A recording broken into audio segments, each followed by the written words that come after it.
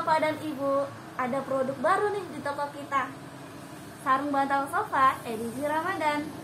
Kainnya halus, lembut, dan ada juga bagian resleting di sampingnya. Kainnya cukup tebal loh Bapak Ibu. Ada banyak motif. Ada 20 motif Bapak Ibu. Bisa lihat.